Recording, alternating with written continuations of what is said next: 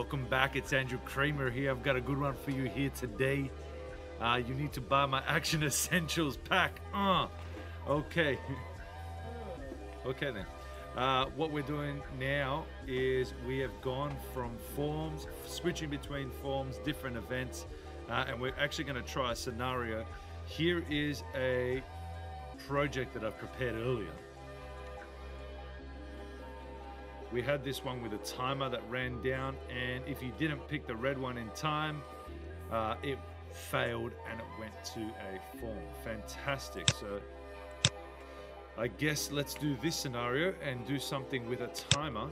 How do I do that? I am going to run that down from five seconds. If it fails, it's going to go to a form. Right. So this video, uh, this video might be a little bit longer than usual. uh, is because uh, we're going to cover timers and if else statements in one go, maybe even uh, variables in one video. Um, this is essentially what we're creating. We have the code here. Hey, dude. Sorry, that was my cats talking. uh, sponsor us on Patreon. Uh, here we are back again for another video with Simsy. Uh, so back to our uh, boring old project right here. What we have is pick the red one. You don't pick the red one, it goes to the blue one. And then it goes to question two. Uh, we're going to make a new form. And when we click on this button, uh, we're going to put the timer and all of that in that form. So let's make a new form. Let's move a bit quicker now. Uh, otherwise, this video is going to be longer on an already long video. Uh-huh, doesn't everyone say that too? Okay, cliches are done. So, question three. The best part about these is that they go on on YouTube and everyone can watch them. Aren't you so excited? My cats are.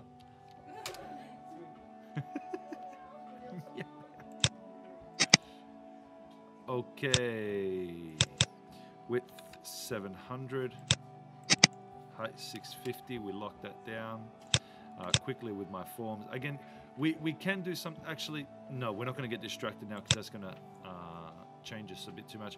Um, you can set all of these things in your form load. That would probably be a smart way to do that. Uh, in your form load, you can change the size of your form before it actually loads. You can change the start position of your form before it's actually visible. One of my cats just left the room. Uh, you can also change uh, form border style fix single. Two of my cats are, are arguing right now. They're having a cat fight. Okay, cool. Um, this is not an interactive lesson right here, cats. Okay, uh, let's grab all of this stuff from here. I am cheating and I am going to Oops, that didn't work. Yes. Good, I cut and paste this from another project. Um, so I can bring my timer. Uh, it's just a label. I've, all I've done is cheated. I've dragged a label. I've dragged another label. Uh, three picture boxes. Uh, awesome. I call them PB red, PB blue for the green one. That's pretty dumb. So I'm going to call, uh, actually, what's probably going to be easier is actually just change so I'm going to change this to Dodge Blue and change PB Green to actually green and let's change that to lime. So we have red, blue, green. Uh, we have three picture boxes. We have a label. We have another label here. Uh, we're also going to have to introduce a new uh, object, which is an object that we should have over here now, which is not in the common controls. So most of the things that you're going to use are going to be in common controls. You need to pop down this thing here uh, and you look through it through here or you could search the toolbox and type in timer.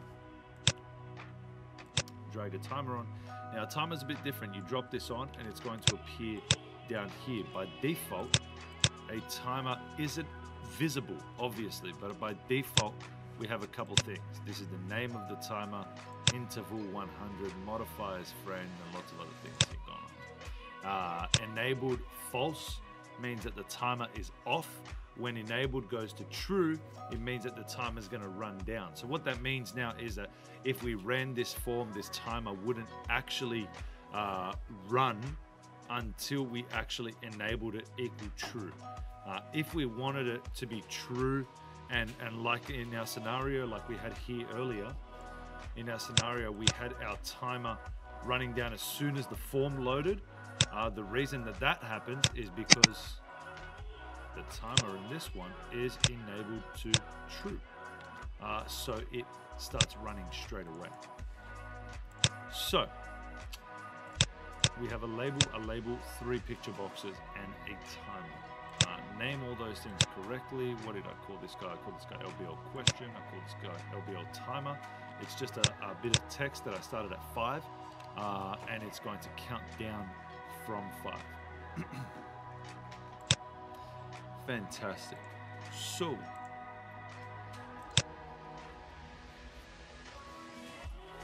I am going to actually change my timer to true.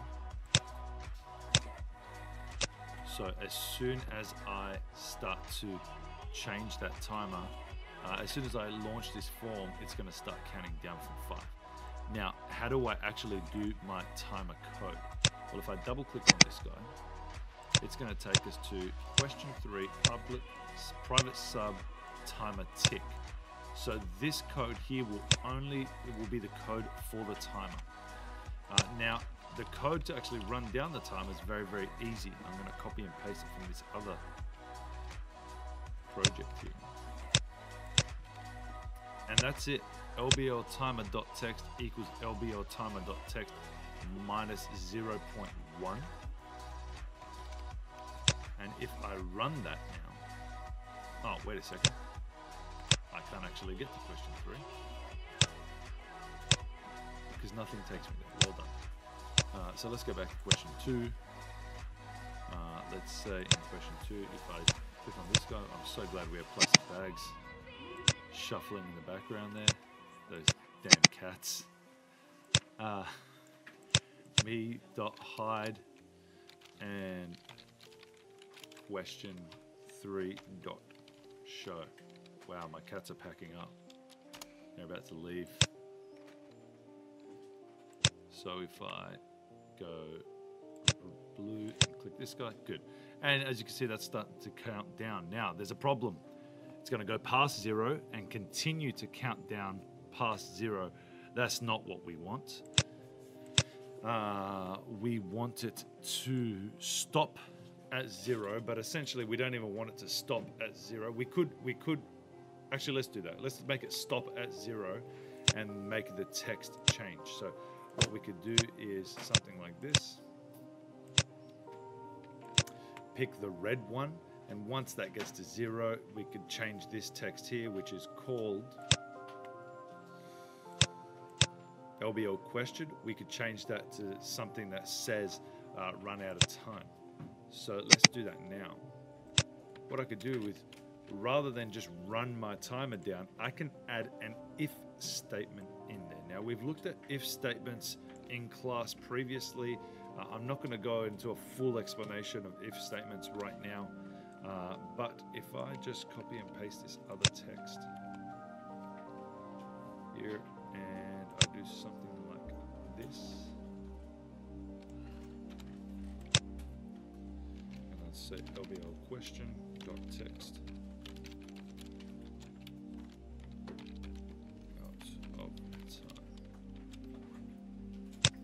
And I'll explain uh, these three lines in just a moment uh, once I speak to my cats.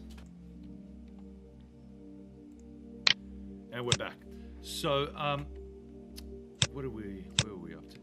If statements with a timer. So, what this three lines says right here, this is going to count down regardless. So, as soon as uh, the form loads, uh, because the timer is enabled by default, it will automatically start to run this line of code, uh, which, which means it will automatically start to count down and uh, and change the label uh, with with the, the, the revised countdown view. That was a horrible way of saying that. It will automatically start to count down the timer, and the label will be updated uh, with the value for the timer. Uh, that's where it goes down from five, and it goes down past zero into negative because it just continues to uh, minus, uh, 0.1 from that. Uh, at certain intervals. Now you can change the interviews. You can make them count down uh, intervals, uh, count down faster or slower, or whatever. Uh, but that's that's for another time. Um, now, what we want to do is once it gets to zero, we don't want it to go past. We want it to stop, and we want it to say something. And that's where this if statement comes in. Uh, this is the easiest uh, control structure that you could have uh, I mean, other than a sequence, which is just going to run and execute every line of code, uh, this is a very, very simple if statement. It's checking a condition, right? And an if statement always checks a condition and it says, is the condition true? If the condition is true, it will then execute the lines that are indented uh, in the code. And that's, you know, VB uh, is very strict on its indentation and all of that. It, it actually means something. Uh, so you'll notice that we have if and end if here. Uh, in that, this whole line of code is indented from, and we're getting messy here, but indented from private sub and sub. All of that is indented in end class, public class. Uh, so just please be aware of that. That there, you know, this is not the best illustration, but similar to HTML, where you have an opening tag and a closing tag for most things. Uh, in, in Visual Basic and most programming languages, again, it's very important. Uh, Visual Basic is very strict on this that you have a closing uh, tag, for lack of a better word, um, that you you encapsulate all of that code uh, within the, the beginning and the end. So you'll notice that here, when it runs into the if statement, there's an if and an end if. If you delete the end if, well, let's see what happens. If you delete the end if, I'm going to get an issue. And this red line, squiggly line, it's ugly and it won't let me compile my code. It'll say there were build errors. Would you like to continue to run the last successful build? Uh, and if I say no, it will tell me, again, please read error messages. They're very useful. If must end with a matching end if. Wow. It will even tell me the line where the problem is. Line six.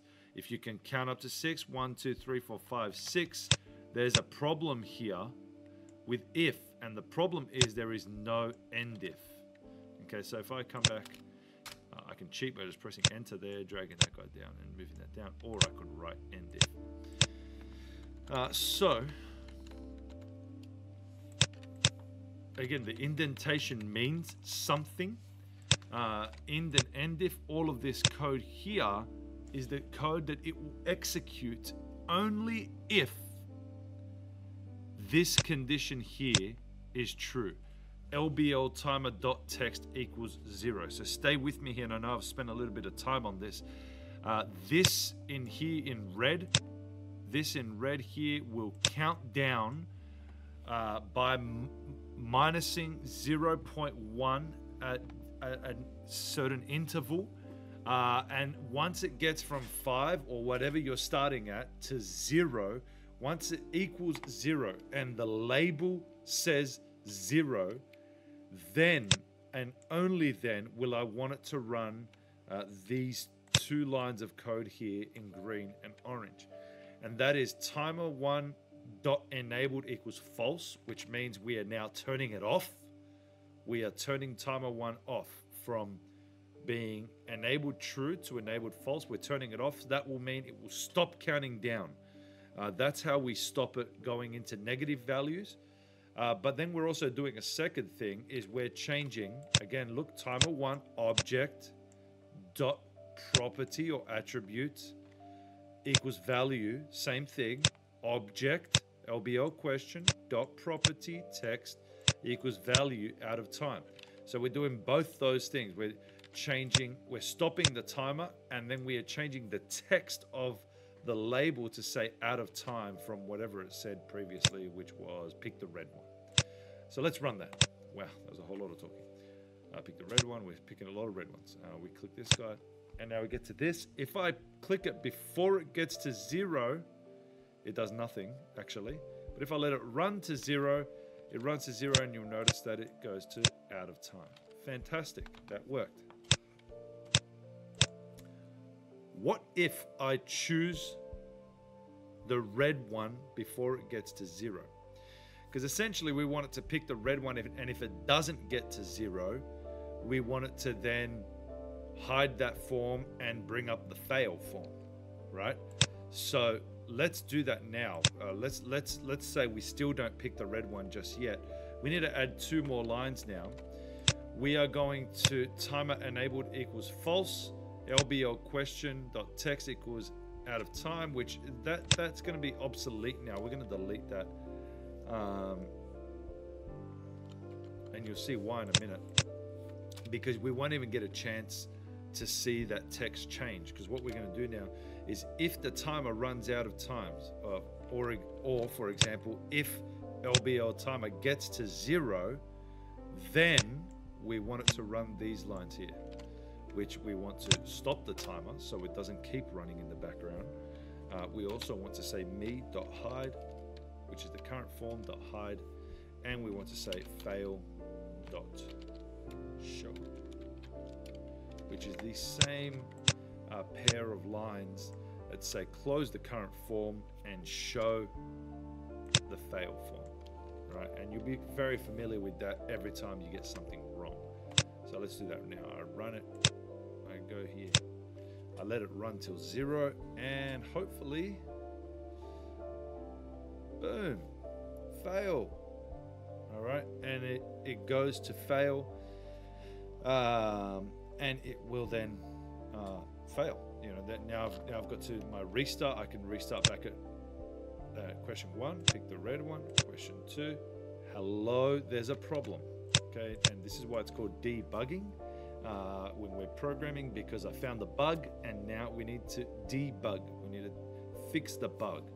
Um, you'll notice that if I get it wrong, uh, now it doesn't start at five anymore. It still stays at zero. So one last thing that I probably should do here in my timer is if it gets to zero, disable the timer, false. Then hide the form, fail show.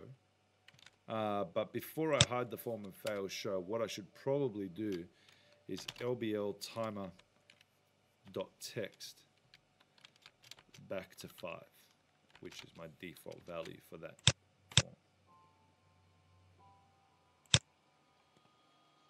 There's still going to be a problem that I can foresee. That's going to go down to zero.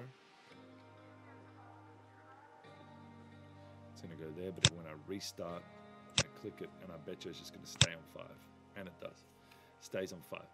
An extension question I would usually ask here, can anyone tell me why it is staying on five? And the answer would be because Mr. Simak, the timer one is enabled false and we haven't flicked that back to true at any point. Uh, so we're going to have to flick that back to true. Uh, again, I'm spending a bit too long on this timer right now. I'm going to fix that in just a minute. Uh, but let's see what happens now if I click the red one before it, it counts down initially. Okay, so let's go back to my design here. The red one. Oh, sorry. Stop executing. Rookie error. delete this module. These are other things I was uh, let's see if I got a question four.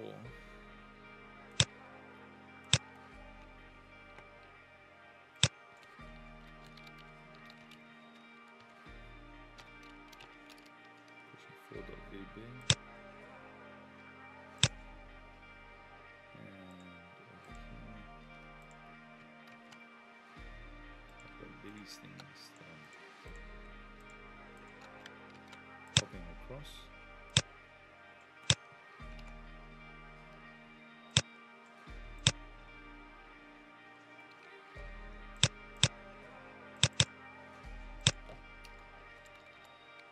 700 and 650. Five times. Again, even the placement of the text, I mean, this is another annoying design thing. Even the placement of the text, you'll notice that here, when I'm clicked on my text, it has a location. So now if I have a defined size for my form, then my location really helps because it's all based on this guy right here. Uh, and it's basically telling me that that point right there is 195 on the x-axis and 190 on the y-axis. Wow, that was a big noise. So if I wanted to bring that across a bit more, I can be 250 and you can notice that that updates live. So if I wanted all of my text, for example, this question, uh, the previous question and all of that to be in the same place, uh, I could go through and, figure out the exact location. I click red five times and then I'm going to bring this guy across here.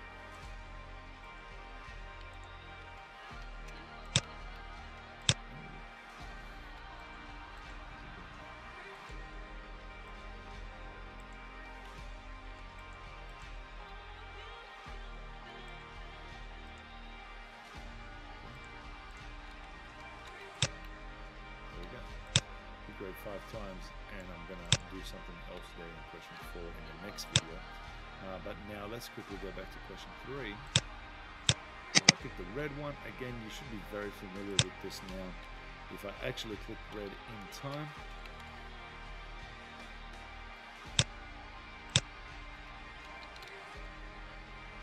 question four dot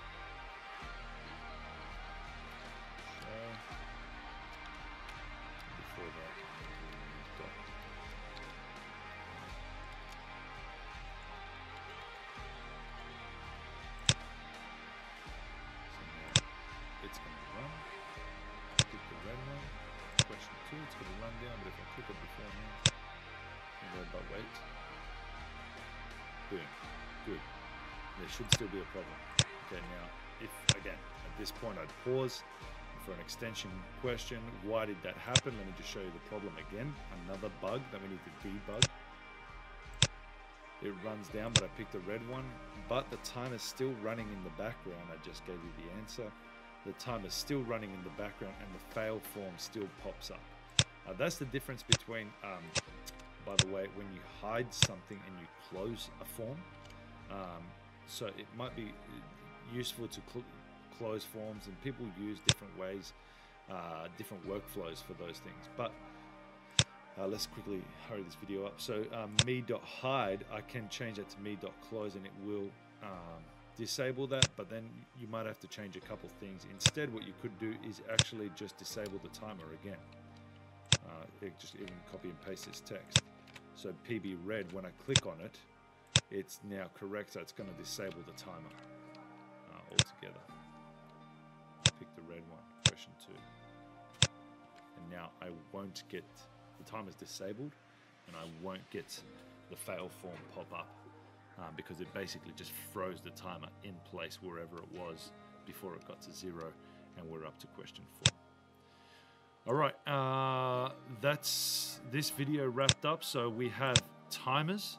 Uh, that's one way to do a timer uh, linked in with a text box or a label or something like that. Sorry, linked in with a label. Um, there's lots of ways to use timers. You, they don't have to be visible. You can have them in the back waiting uh, for something. Um, when we were doing a lot of the, the prototype testing, uh, um, using the actual Moron product, what's it called again? The Moron test app um, some of the tricks which we're going to try in our next question uh, purposely try to make you do the wrong thing or try to uh, make you wait for an awkward amount of time before you can actually click on something else. So um, I'll come back to that. Uh, let's let's look at the next uh, question when we're going to click red five times uh, and see how that goes with some type of counter variable. Uh, and that will pretty much enable you now for almost everything that you need to do to start getting creative with your questions and different things now. All right, so let's going to pause there and um, I'll come back with question four in just a minute.